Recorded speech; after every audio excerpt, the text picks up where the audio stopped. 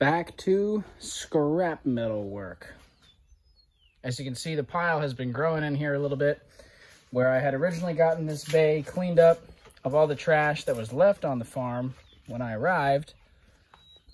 Now there's more trash in it, and this is a combination of helping some friends clean up some of their sites. You know, here and there, there's a few pieces of metal that uh, I'm diverting from the landfill as they're just taking out trash to the landfill of, the you know, old abandoned dump sites and stuff like that. I've been kind of accumulating small amounts of steel here from little projects like that, and as well as every now and then if I see a dumpster, you know, while I'm out running errands, I'll check it. So like, oh, this stuff came from just, there was a bunch of these poles and this filing cabinet in a dumpster.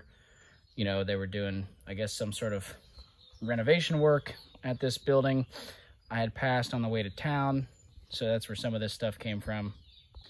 You can see old poles. We got a filing cabinet. I don't know exactly what this was. It came out of an old trash pit, burn pit situation, some old fencing material. Scrapyards really don't like wire, steel wire like this. That's something to note. This stuff is a small enough gauge and it's so rusty and crusty. I think they'll take it in this small amount. But if you get really thick gauge wire, they typically will not accept that stuff unless it's cut in really short lengths because that can actually bind up and clog the uh, the shredding equipment. It can be a real issue if we're talking about heavy duty, like from construction sites, the crane wire, that sort of thing. So, and some old chairs and just really rusty, this old basketball hoop, some of this fencing and stuff. And uh, so just a bunch of junk. This is not the whole load, but I'm gonna get some of this loaded up in the truck today. And then uh, just have like half an hour here. I'm just gonna get that stuff thrown into the truck.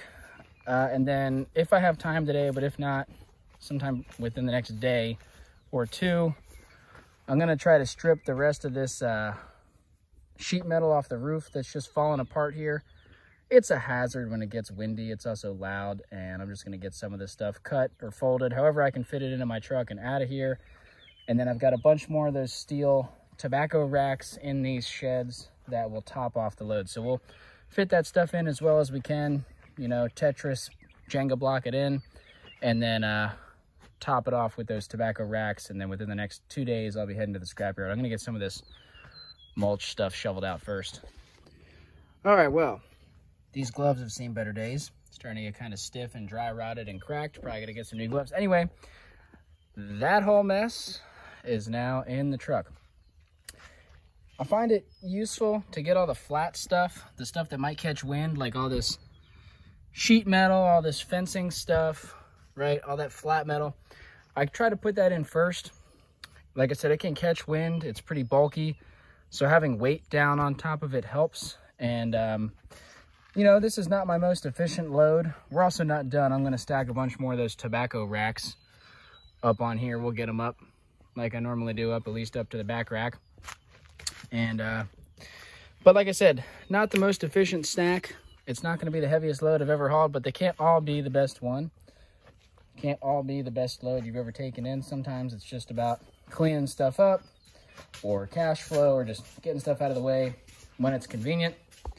All right, so now some fun stuff. I've got some of these mixed bins, right? This is a lot of wire, brass. I got to go through and sort some of this stuff.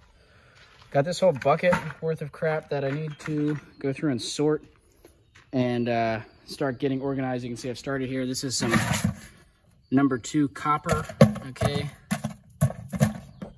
And when we're talking about classifying our metals, every yard is a little bit different in how they classify and buy materials. And it also depends on how much bulk you have, your relationship with that yard. So all that is subject to, to change and variation. But typically number two copper, it's number two it's clean of any other, it's just copper, right? It's clean of any other steel, plastic, other metals, but it's got some glue maybe, or some tape, or it may have some sort of varnish on it, or it may just be really, it's got some corrosion, right? You can see this is all corroded. So you're not gonna get, typically you won't get number one for stuff that looks like this. You definitely won't get bare bright for any of this wire. The other thing with, even if this wire was super clean, like you can see this part right here is pretty clean and shiny.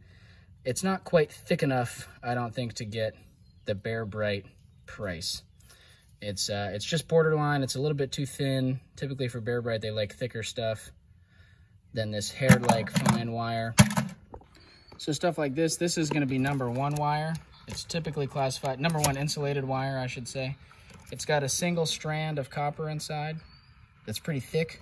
When you bend it, it's really stiff. It stays in place. See that? Typically, that's going to be classified as number one insulated. You could strip that get bare bright. I'm probably just going to leave it. This, again, this is not single strand, but it's several very thick strands of copper. So this is probably going to go as insulated. Number one, they often, sometimes they'll call it number one. Sometimes they'll call it based on the percentage of copper they're going to be able to recover. They might call it 70 to 80% copper recovery on this type of wire. It's very stiff. I can't even really bend it with one hand. So again, you could strip this stuff. If you have a stripper, like a uh, with a motor or a drill powered stripper, it's very easy to rip through this stuff. If you don't have a stripper, it can be very time consuming and not really worth your time unless you have a lot of really nice big pieces.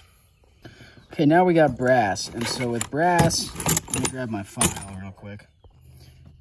Good to have a file with you. It's a little bit dark in here. Apologize for that. I don't have a light set up right now. But you want to come in. All right, so a couple things. Just if we're trying to, first of all, identify brass. I know this is brass, but to show you how I know, it's not magnetic. This is a magnet. It sticks to the file, okay?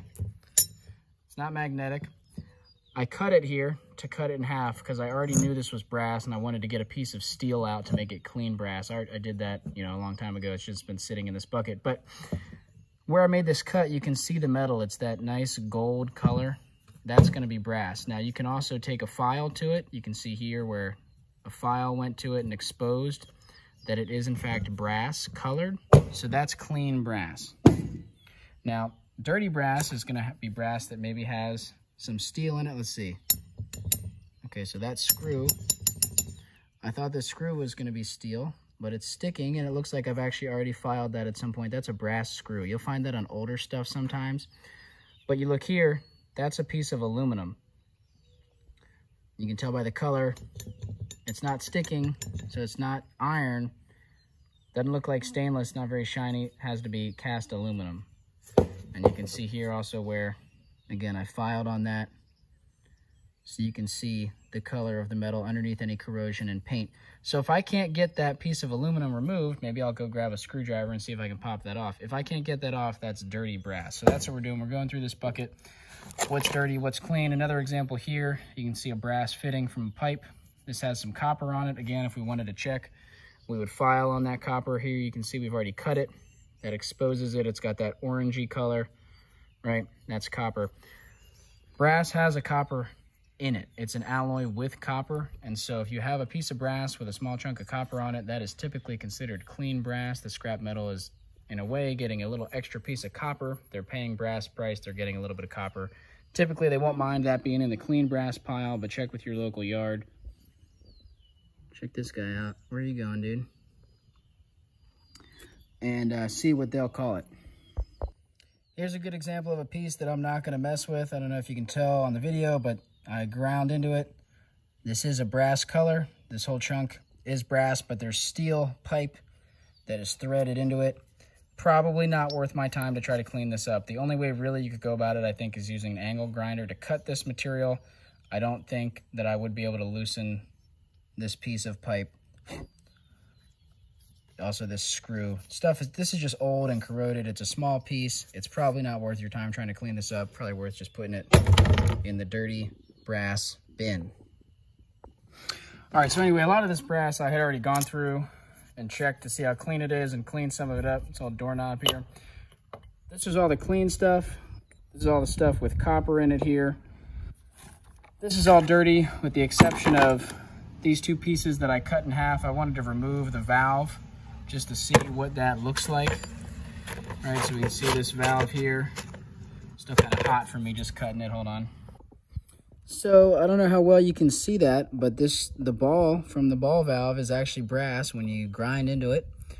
It's maybe chrome plated or something. There were these two little plastic gaskets in there. Otherwise, this was totally free of any contaminants. So Prior to having cut this specific valve, would it have been clean? Possibly. I think you probably could have gotten that into the clean bin. Most yards, I would think, would take that. I don't scrap a lot of brass. I don't get a lot of brass. So I don't know the answer, but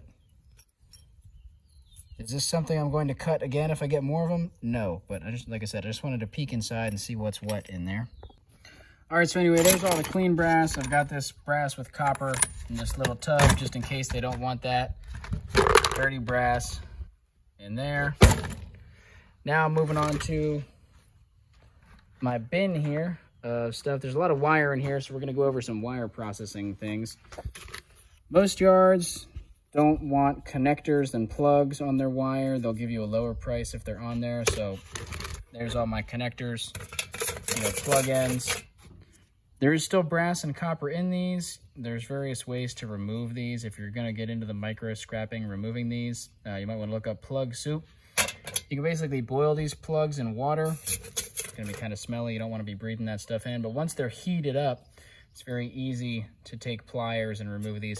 I'm not gonna do that. The yard, most yards will buy these. I don't know, probably 30, 40 cents a pound for these, if I had to guess.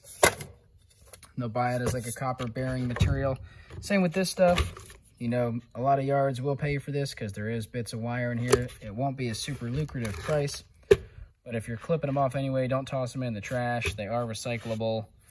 And, uh, you know, worst case, you can just throw these in with steel and that'll get shredded up and sorted out in the steel shredder. So I'm going to get in, break into this stuff here. Most of this wire on top is, uh, this is going to be probably number one. I don't know if you can get the camera to focus. This is some thickish, well, kind of borderline the gauge on this stuff. It's, it's rather thin. It's like kind of on the lower end of what I would call thick enough to be insulated number one wire. We'll see. We'll separate this out. I don't think I'm going to bother stripping it. There's some like this that has the more fine hair-like wire might get classified more as number two. But uh, yeah, let me get this all out of here and then we'll start breaking into this pile. Okay, so you can see how this is double insulated, right? There is copper wire in there, but there's two sets of insulation on it. This is typically going to be called extension wire, junk wire. So all your extension cords go in there. Usually pretty reasonable price on that stuff, like a dollar a pound or so. Anyway, it adds up quick. This uh, this whole spool of wire I found in the trash. This is lamp wire. A lot of the times this will get lumped in with extension wire. So, you know, it's a whole spool brand new. I'd rather see someone use it, but uh, this stuff is pretty cheap. This is like a $5 roll, something like that. So reselling it, not very lucrative or easy. Um, I'll probably just throw it in the shed and eventually I'll find someone who has a use for it, give it to them. Or uh, you know, worst case, if I really need to make space in the future, I could, you know, just get this off the spool, throw it in the extension wire pile. Feels wasteful, but could be done. Anyway, for now, this is going to go over here and sit in case I need to repair like 100 lamps in the future. Let's see. Got a switch. Some people take these apart. I think there's some goodies inside of this little fuse panel, switch, relay, thingamajig here, whatever you want to call this. I am probably just going to throw it in shred. Guess we could take it apart and see. Kind of curious what's in there. This, I don't think you'll be able to pick up on the video. This is misleading. It looks like copper. When you cut into it, it's shiny silver. This is actually aluminum wire, probably coated with copper. So this will go in our sheet aluminum. I forget what this came out of. It something I was disassembling, a TV or a microwave or something. Uh, again, I don't know exactly what this came out of. Little piece of low grade circuit board you can get, uh, I think the price for low-grade circuit boards is pretty comparable to steel, but they process it differently, so it's a little bit easier for them to recycle it if you separate it. Uh, you can throw circuit boards into the shred pile, I'm pretty sure. I mean, obviously, when a lot of these appliances get shredded, they have circuit boards in them, and that gets processed. But if you've already gone through the effort to take them out, that goes in trash. That goes in my number two insulated wire. If you've already gone through the trouble to take them out, might as well keep them separate for the yard. A lot of this wire here, this is uh, not gonna, it's gonna be very fine hair-like wire on the inside, so it's number two. It's not quite as good as the number one insulated, but this will be number two insulated wire. I don't think there's any connectors on this bit, so we'll throw that down there. This stuff also, number two, it's bendy. Actually, this hardly has anything in it. Not quite sure what to do with this sucker. Hmm. We'll throw it in the extension wire because it's got a lot of plastic crap on it. So I'm going to use two hands to go through a lot of this. You get the gist. I'm just kind of going through wires. If it's got a little connector type thing or a little zip tie or whatever, taking that off and um, sorting it out. Extension wire number two. I don't think there's much number one in here, but now this uh, this is the same as that lamp wire. It's an extension cord from a lamp. I learned this from Scrapping with Grandpa here on YouTube. Great channel. If you're just scrapping, you should check them out. You can easily split this stuff and then you have two wires and then I think technically you can throw it in with your number two insulated wire as opposed to extension cord. I'm not 100% sure if that's always how that works, but makes sense to me. So we're going to see. Some number one stuff came off of uh, one of these old tobacco curing furnaces that goes in the number one bucket. That's what a lot of this stuff came off of. It's also where this bit of uh, grounding copper, this is solid strand. I got to get these little plastic pieces off, but this is number two copper all day long. Actually, honestly, this might go as number one. Um, there's no paint or epoxy or anything. It's just a little bit corroded. Might be able to sneak, well, not sneak. You might be able to actually get that legitimately as number one. Depends on your yard, what they call it. Starting to get down to the end of that bucket. There's a lot of just wire. This is some other miscellaneous just steel off of that uh, those old furnaces. There might be a little motor in here. It's so small that I'm really not worried about it. That's going in the steel bucket. Another piece of steel right here. Now this, thick enough, it might almost be number one or prepared steel. It's got a little piece of little brass nugget up here you could pull off with a wrench if you want to. I may or may not. But uh, yeah, we're getting to just a little bit more wire to go through, some more of this copper grounding stuff. And uh, actually made it through this bin. Few things of note. Um, these must have came off an old TV or a microwave. These little things, these can go in with your motors. This is a copper, typically it's epoxy coated. It's a small amount. I'm probably not gonna pull it all off. And also a lot of the times this will be like a copper coated aluminum, but this can go in the motor transformer bin as is. Another little piece right here. All right, so two of those were actually solid copper. They are coated, so they'll go as number two, but worth taking them off. The other one going in the motor bin. All right, well, I'm at the bottom of the bucket and I'm getting hungry. I got this yoke out of a TV to take apart. I got to decide if I want to do anything with this thing right here. Decide if I want to get that brass nugget. Everything else is all sorted out. Got my trash pail there. Didn't really put a whole lot into that this time, but this is really just a lot of different wire. You know, I've got ethernet cable, category wire, cat wire, number two insulated, extension wire, junk wire. This is that number one stuff. And then this is my bucket of number two copper.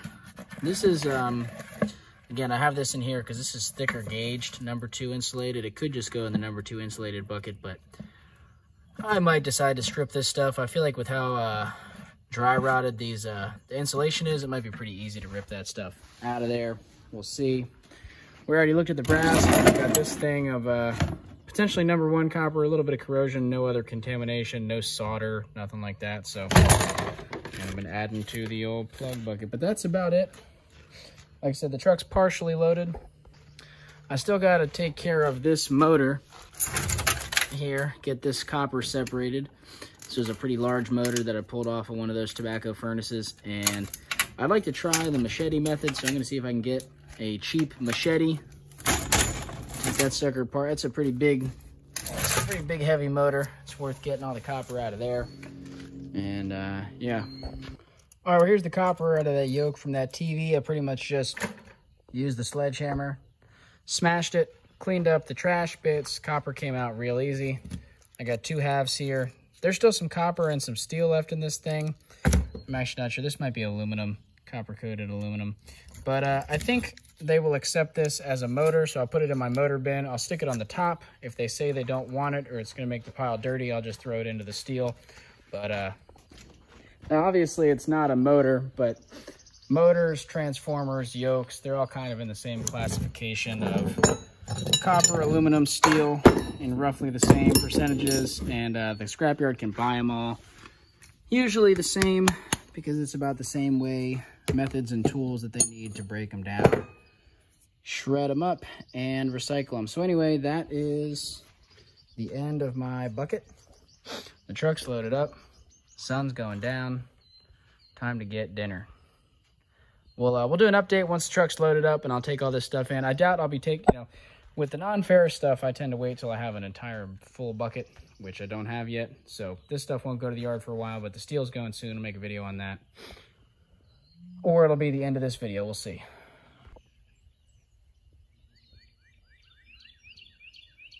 Well, I gotta say, this is the first, and you'll see what I'm talking about in a moment, but uh, I've never had my truck pulled inside of this barn. Never. It's never really been an option. We've had all sorts of stuff in here. For those who haven't watched some of my other videos, or I don't really talk about this a ton, but we have some renters, some family friends who rent this space for my grandparents to use it as a storage space. So none of this equipment belongs to me or the family.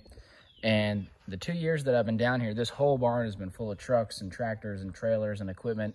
They're finally starting to free some of it up, partly so I could get access to some of these barns for my own storage and for what this video is about, which is scrapping. Getting some of this crap cleaned up. A little dark in here though, under the barn. Anyway, um, I'm gonna start getting loaded up, but just wanted to talk about that. It's exciting to pull in here. It's really nice. I can a little rainy out, but I can actually be have the windows down in here because I'm fully undercover. In the summertime when it's hot, I'll have a nice shady spot. I mean, I'm just, I'm fired up. One other thing I wanted to talk about yesterday that I forgot. when I was going through some stuff in the barn to scrap, I seen this thing. You know, this is mostly plastic, but this looked kind of metallic and it's heavy. And so uh, I took a magnet to it. It wasn't magnetic. And I thought, oh man, maybe that's brass. I started grinding on it with the file. Can't get this thing to focus here. This valve's plastic. This whole valve is plastic. So this entire thing is going to the trash. I mean, there's a piece of steel. Oh, that might be plastic too. Yeah, this thing might be all plastic. Anyway, the whole thing's going to the dump. But uh, I gotta get this bucket of miscellaneous shred iron. Oh man, that is heavy. I might need two hands. These buckets can get heavy, but they can hold a lot of weight in these little five gallon buckets. Uh, don't let that soup can fool you. This is mostly really heavy stuff. Some of it I know it looks stainless, but it's actually, in fact, magnetic. Well, I gotta say, I don't know how easy it is to tell with the lighting in here and the camera angles, but this is a rather precarious load. I haven't had a load this precarious in a long time. I think we're still certainly road safe. I'm gonna get this really well and strapped down. But you can see, you know, we're not totally flat, right? And so that's gonna put more weight wanting to go off to the side, which again, can be dangerous, right? If you're going on a turn. I'm gonna drive real slow. It's county roads. I'm not getting on any highways. There shouldn't be a whole lot of folks on the roads today because it's kind of a cloudy, drizzly day, but not actually raining hard, so visibility is still good. No fog or anything like that. And like I said, we're going to get a lot of straps on here. Get out to the yard. You can see I found some extra sheet metal. I don't like putting this stuff up high, but I got it nice and squeezed in with the straps. So I'm just going to go and get some of my straps up real quick. I'm to go over here. Every time I think I'm done pulling copper and goodies out of these barns, I find another little little tidbit. So this little cover, drain cover. I don't know what this was. It was in the back of the barn. There's a little piece of copper in here. So I'm just to pull that out real quick before I forget about it, throw it in the copper bin. And then I'm to see if I can squeeze some of my aluminum cans into the cab of my truck. They're all the way back there. I got to really, all this cardboard is going to either get burned or going in the garden. This is kind of a mess that I got to deal with. Anyway, well, this will definitely be the most cans I've ever brought in. And guys, I got to tell you, if you don't know already, for me at least, the state that I'm in, cans are not worth it financially for bringing into the scrapyard. This is not going to be worth the cash for the time it took to collect all of these cans. But what it was is from cleaning up different piles of trash, like you saw in that one video a while back in my yard and some other piles of trash in the neighborhood. You know, it just, I just don't like seeing the trash. I felt motivated to clean up a few piles. You know, it's a small dent. There's tons more trash out in these woods and these fields, these roads, but I did a little bit. It felt good. And as I went through the trash, I sorted out, you know, Cans I can recycle, glass I can recycle. Wasn't doing it to get paid, but since I'm going to the yard, I am going to take these in there anyway. I could have also taken them to the local recycling depot that would not have paid me for them. Um, but since I'm going to the yard anyway, I'm taking them. Some of these cans are my own. I do drink a lot of these seltzer water, so some of these are mine. But most of these came out of the trash, and they are all snugged in the back seat. Just like so. All right, we'll see what it's all worth. Let me get this strapped down.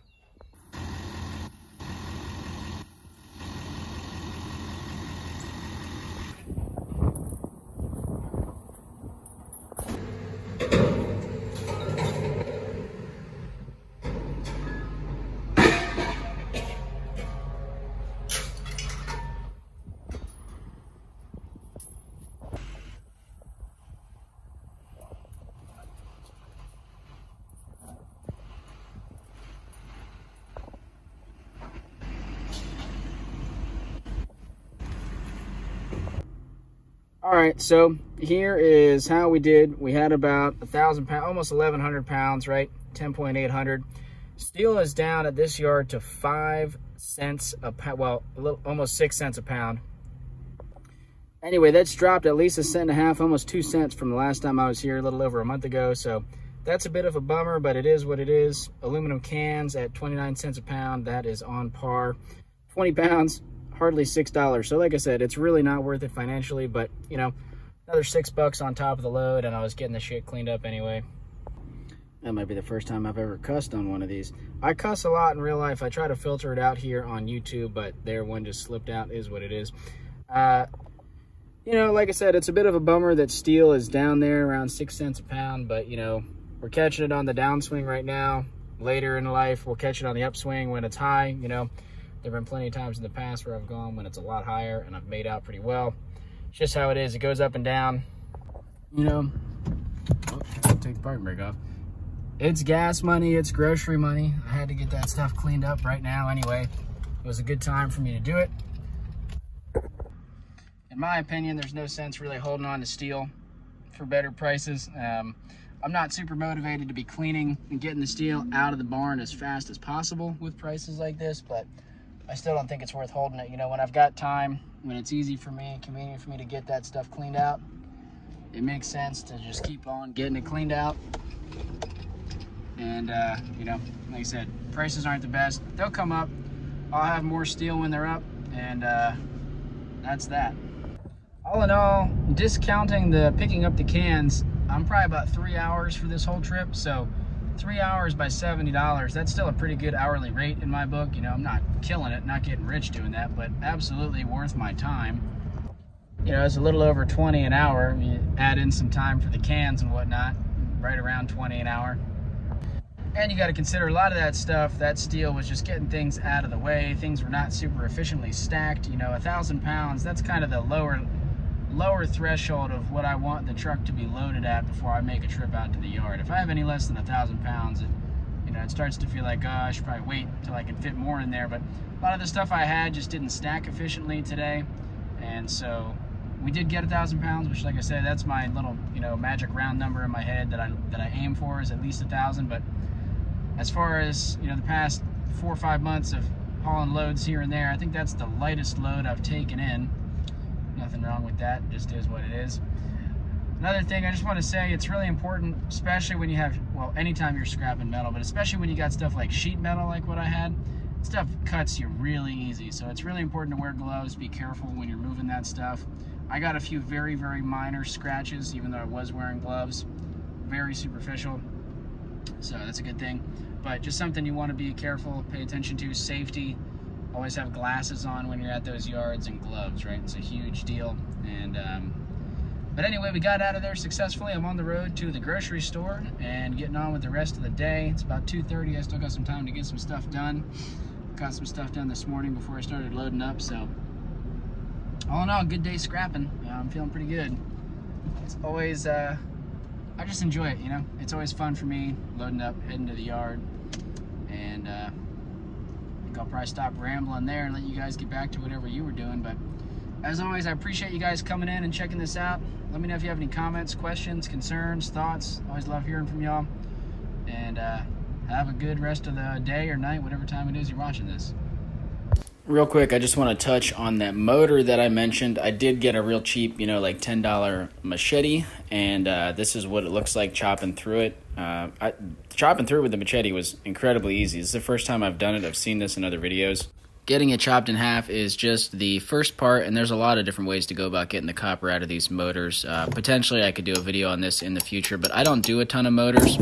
It's not something that I'm in the habit of scrapping a lot. Uh, there's a lot of other good content creators out there with videos on how to scrap motors, but maybe it's something I'll do a video on in the future. You can see here I'm just trying to pound the last of the, uh, the copper windings out of this little steel casing.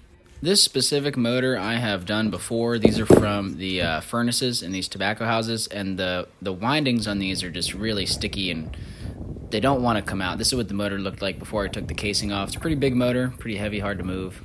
So I've shown these in some other videos, but these are the furnaces. These are a couple extra furnaces that are actually outside of the tobacco sheds that they would normally operate inside of. And so you can just kind of get a glimpse of where uh, these motors and also a lot of my scrap material recently has been coming from. So the motor would sit right there on that little shelf and I'm going to turn the camera. You can see where it would run the pulley, right, to turn the furnace. And there's all sorts of wiring and grounding wire and electrical wire, all sorts of goodies and stuff that were on here that since these are no longer in use, they are getting scrapped out. I've been in the process of stripping all these things down, but like I said, there's a lot of ways to go about these motors. I did wind up getting this one apart, and it had about uh, 8 pounds of copper inside of it, which is pretty good. You know, 8 pounds of copper at today's prices, that's like at least $25. It's number two copper.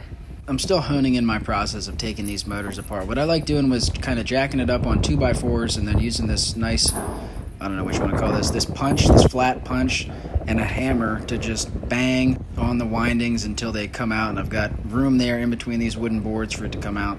Some folks are really efficient at taking these motors apart, and so they'll scrap out every single motor that they get, or most of them anyway. I tend to only do it on the really large ones that have a lot of copper. I'm still working on becoming more efficient at actually taking these apart, making it more worth the time financially, but I really enjoy doing it, so it kind of doesn't matter either way for me right now. If you don't know, you can take them in whole. You'll get about 30, 40 cents a pound for electric motors, and the steel you get left over from taking them apart is considered number one or prepared steel. It's a higher price than just shred if you can separate it out.